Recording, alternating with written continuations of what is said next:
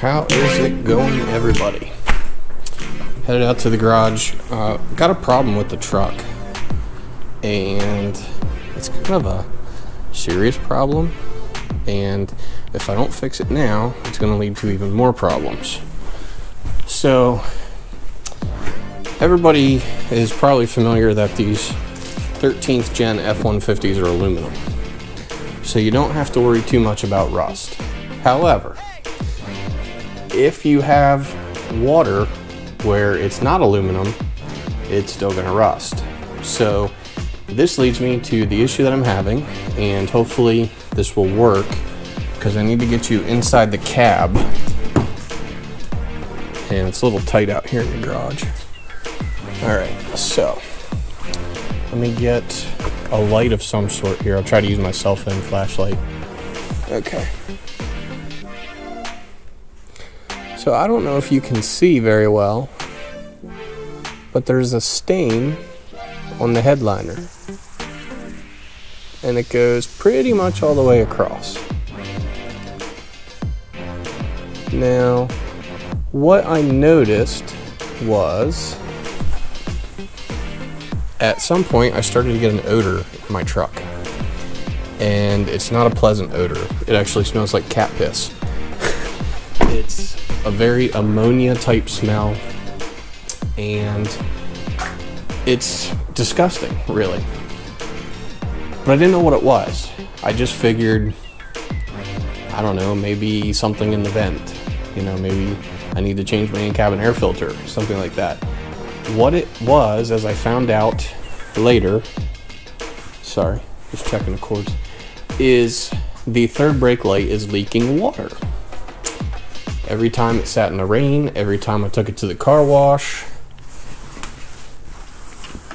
The third brake light housing is getting water in behind. That water goes down into the roof and then somehow goes right into the headliner, soaks the headliner, drips down the back window, and runs down behind the seats because of the carpeting and the adhesive in the headliner, when it gets wet, that's what produces the cat piss smell. And it's very, very unpleasant. So, what I need to do is fix this third brake light housing.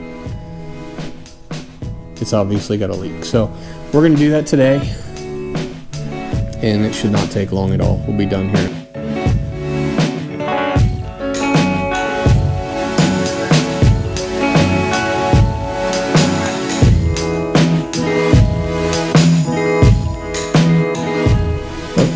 Two cameras set up here. I got one that's just doing a general view and I got one on my head so you can see exactly what I'm doing.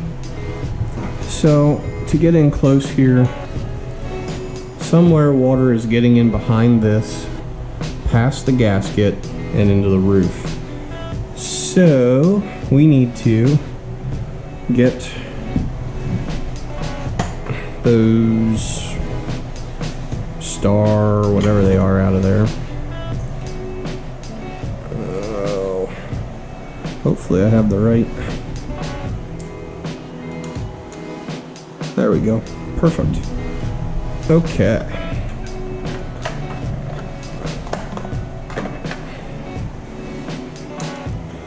So first things first, we'll take the screws slash bolts out of the factory one now this may have actually been my fault because I replaced the bulbs in the factory housing here with LEDs. However, I don't see how that would screw up the gasket on the back of the housing. Could be wrong, probably not wrong.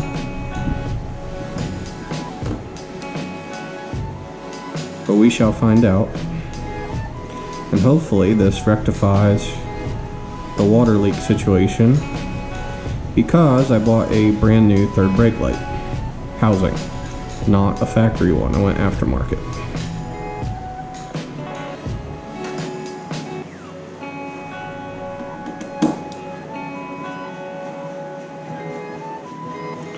So if any of you F-150 guys start smelling cat piss in your truck, look for stains on your headliner at the back of the truck. Not guaranteeing it's the third brake light housing like this, because also your window seal could leak. And I've also heard of, I'll show you in a second, the plastic trim on the roof line potentially leaking.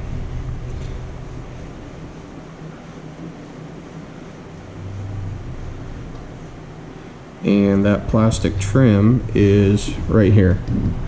I've heard of this leaking somehow and water getting back in there. But I'm really not thinking that's my problem. Alright, well look here. See how that's pushed down? That's really weird. I'm not gonna lie. How would that get pushed down like that? And you can see here where the gasket was. Obviously water went right in there and a little bit in there.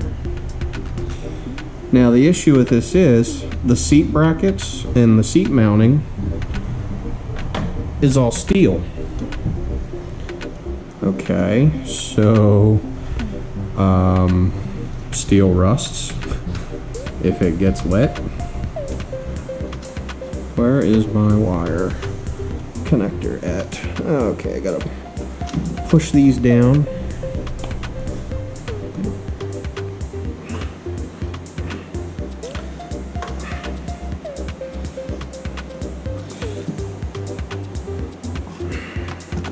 Easier said than done.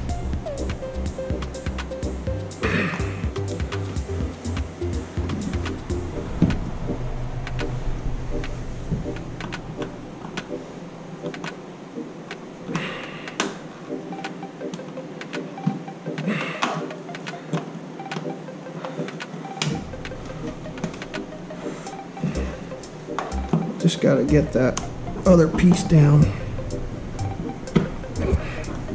There we go. I think I got it. Okay, here it comes.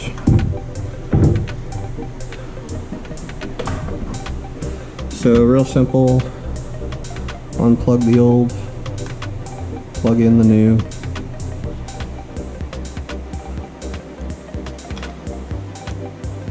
If I can. There it is. Alright.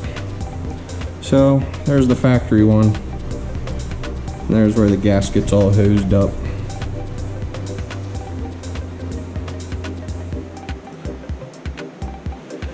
Okay.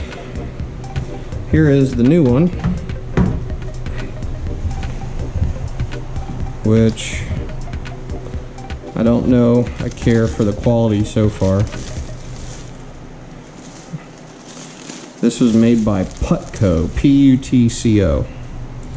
As you can see, it has a pretty decent foam seal all the way around. The lenses are all blocked off, unlike the factory one where they were open, so you can end up getting a lot of moisture in the lens. However, this corner concerns me here.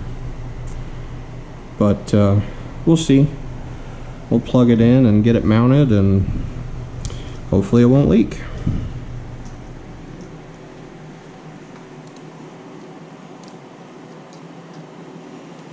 All right. There's that.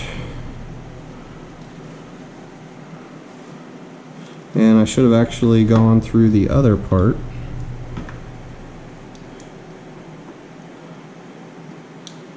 Over here.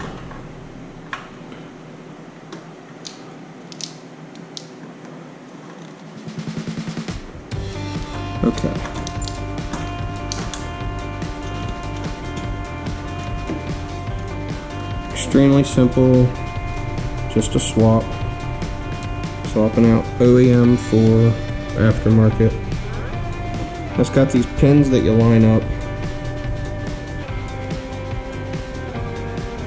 Wow, that's quite the gasket. Good lord. I guess that's in.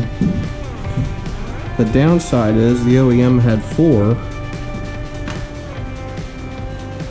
mounting points with the screws. This one only has two. So we will, again, just hope for the best. See what happens.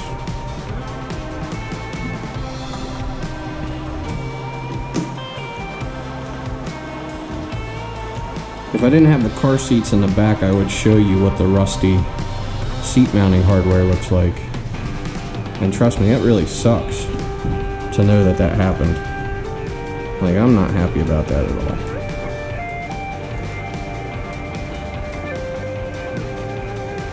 I suppose I could try to warranty it, however, I put the LED bulbs in myself, so they're going to say that, you know, it was my fault because I swapped out can uh, standard bulbs for LEDs.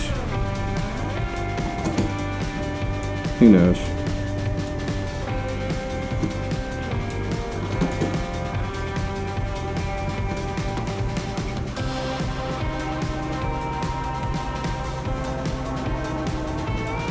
Again, I'm not crazy about just two mounting screws. I mean, I know it's going to hold, but I'm worried about that gasket being pushed tight. So there it is. Um, yeah,